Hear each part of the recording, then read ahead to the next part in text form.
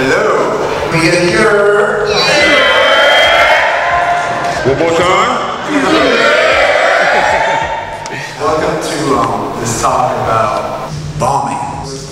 Talk about graffiti in its purest essence. And I stole this dude's name. That was easy was my first tag. so it's crazy that we're with them tonight, and we're really excited. So here we are. Yep, and even just as musicians, I, you know, we both felt it would be cool to even just bring a, a mixed audience like this, bring a bunch of people together in a room and talk about the essence of this culture that we fell in love with when we were very young. Like, what, what is in a name? How do you choose a name? Why Easy? Why Chino? How did that happen for you guys? I was in junior high school in female. That comes from uh, me, from my, my demeanor. Because I had all, these people that try to talk to me. Like, well, we're just going to call me Easy. But prior to that, my name was LC.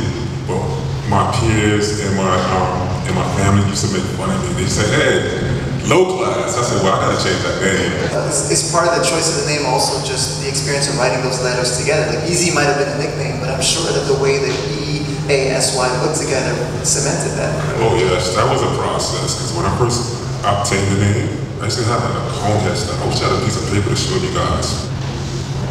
That's the way I used to write. That was the first way.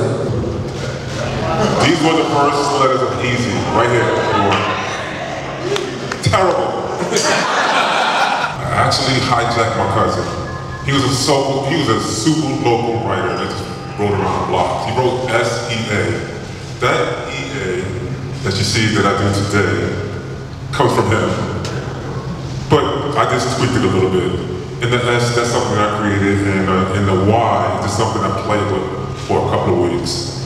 But that's that's about it. You got to be able to do it fast. You got to be able to do it on the go, right? And under pressure And under pressure. as well. And if it's the thing you're gonna do the most, it's like having a good smile or a firm handshake, right? It's that one thing that greets the masses on a regular basis. What, what are some, you, you mentioned rules, right? You mentioned some rules. Something's in the streets. You got these writers that's going right over you, and there's a lot of space every place else. I mean, the disrespect, that's so dis- the disrespect is, is serious. Moving up towards this time, the proliferation of like handguns and crap on the streets was really prevalent. The murder rate started to go up, and graffiti really started to gain traction in the streets. So a handful of guys like Easy, Joz, myself, Trim, TK, guys that were bombing trains, transitioned to street bombing. But with all of the crime that was going on on the street, it was really such a low priority offense that if, when you got stopped writing, like legitimately the cops would be like, you guys got guns on you? I'm sure a lot of us graffiti fans is we kind of retrace the itinerary. You know, I was talking to Easy about six, seven years ago. My ride over the Williamsburg Bridge back into Manhattan became a lot more fun because of two people. Yeah, this is the way we, we used to do. We used to map out all the main avenues in New York and try to go from the, the beginning of the avenue to the end. And we would do that to every major avenue in New York. And there- was no such thing as an all city street movement when I started doing street. There was no like people taking a big tag because everybody had so much style with their tag and stuff like that with the, with the stock cats. So we came with the big fat cats and made it simple, not just for graffiti writers to understand, but for everyone to understand it. And you know what that done? I mean, man, sorry, rest in peace, Mayor Koch, but that gave him another a, a, a big headed. I mean, I'm sorry. To deal with what some of the active generation are dealing with today, like kids are catching felonies. Their lives are being ruined and changed. I was doing the same shit I did most of my teenage years, right?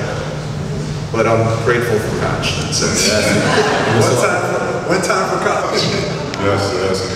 Like back in the 80s, I mean, I got caught so many times. But, I mean, they just, the cops used to like throw me against the wall, like spray paint me, like get the hell out of here. They were like take me to the precinct, like, okay, you're a little too young, uh, you can go. Just don't do it. And there was several times, piggybacking what you said, where they said, well, you can't do this in this neighborhood, but you can do it there. Just sprayed it all, 100%. Easy mentioned, you were talking about simplifying your letters, making them so that everyone can read. But uh, Chino, before they started, we were talking a little bit about the opposite of that. Uh, when, as a fan of graffiti, especially when you're young and you're first discovering this art form, you need to learn how to decipher some of these tags. You'll have conversations with your friends. I, I think it says this, and I think that's an S, no, that's an F, whatever. So, what could you say about that? About um, that sort of insider knowledge of learning how to decode the name that's a part of, of tagging. Like legibility, recognizability. I could tell an easy Chino tag from, you know, just from the contour of it. But Easy was saying that he simplified his shit for efficiency and to be able to see it from afar. Like, but, the, but like, like A-Trak said, there's a pleasure being able to read a real esoteric tag as well. once you once you crack the code, it's, it's uh, Oh, you're in, like, you know the, in. you speak the language. Right. Like, you're not excluded from the conversation anymore. But it really is like anything else. You train your eye to be able to decipher some of these complicated letter forms. So, you know, something interesting to say. You shared that with me before we started because you were you were studying to be you said a doctor, and once the joy of writing your name took over, Yes, in the early 80s, particularly late 70s, I was studying to be, I was studying physiology and anatomy to be a doctor, and I was really into like sports as well because I wanted to be a professional baseball player. But after I got ma- manipulated into the form by my cousin Josh Five and my older brother Sim Four, Yeah, but what, really what really caught my attention when I, I took a, a few tags on a three train. This is 1982 when I wrote LC Class. When I got to school and, and, and, and, my peers were like, oh my God, I see your tag on the train. I'm like, wow, you could get famous from doing this. you know you were saying that this hasn't left you. Still, still out there. There's there's still things out there. Yes, um, I'm like, I'm actually, um, I'm making a conversion inside the art world because Kid 17, Dual, How the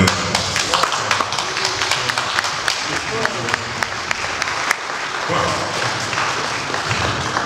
but this is something that's been embedded into me for life. This is a lifetime commitment. This is the way I view it, and it will never change. A-Trak and I on our way here, we're also thinking about like, you know, multimedia is such a, multimedia art is such a trendy buzzword. Tagging is, that, they invented multimedia. You got spray, you got paint markers, you got ink markers, you got stickers, you can scratch, you, I mean, Extinguishers. extinguishers, I've always thought it was cool think back at a time, again, pre-internet, when a, a writer would meet someone from another city and basically become pen pals. I remember you had a friend in Toronto who would send Vancouver. Vancouver would send you pictures of his pieces, and I remember Yep, there was a, stickers. I would put his stickers up, you know.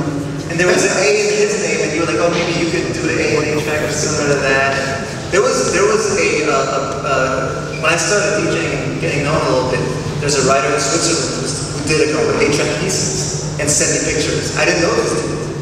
And he put my name up in Switzerland. I thought that was also just on some, you know, spreading the, spreading the name. Thank y'all so much for coming.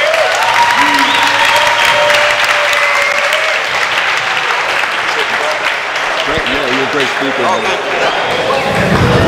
hey, guys. Nice meeting you, man.